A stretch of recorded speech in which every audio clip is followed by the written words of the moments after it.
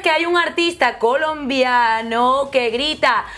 Hay demasiada gente dañina. Con estas palabras, el cantante Raycon sorprendió a todos sus fanáticos con un video de la, en su red social Instagram donde declara estar cansado de que lo estén inventando rumores falsos.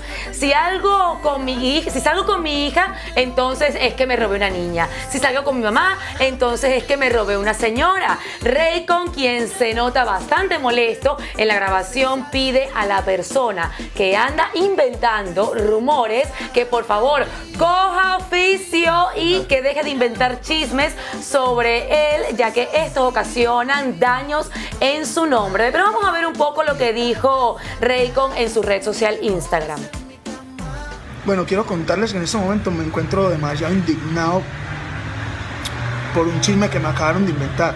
La gente demasiado dañina, la gente es demasiado dañina y no se dan cuenta el daño que pueden hacer con una palabra, con un comentario, eh, como si nosotros no fuéramos nada.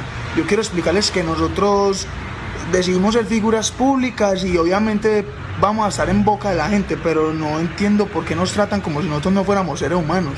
A nosotros también nos duelen las cosas, a nosotros también nos afectan las cosas y nos pueden dañar la vida a nosotros. Tenemos una vida personal también si salgo con mi hija, entonces que es que me estoy robando una niña pues menor. Si salgo con mi mamá, que es que me estoy robando una señora.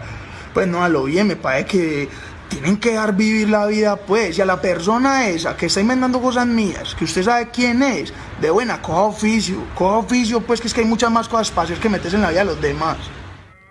Yo creo que ya está bastante fuerte ese tema de los haters con los artistas y yo creo que esconderse tras un seudónimo para hacerle daño, bien sea una figura pública o a, cualquier tercero, es una cosa de una gente, como lo dice él, sin oficio. Totalmente, además venimos hablando lo que los, los, los artistas son, también seres humanos, así como también lo estuvimos viendo en las Olimpiadas con los haters, debemos de respetar porque al final de cuentas son personas y, no, y sobre todo porque o sea, escudarte detrás de una red social porque no se lo puedes decir en persona al artista o, al ser humano y escudarte en eso es bastante, bastante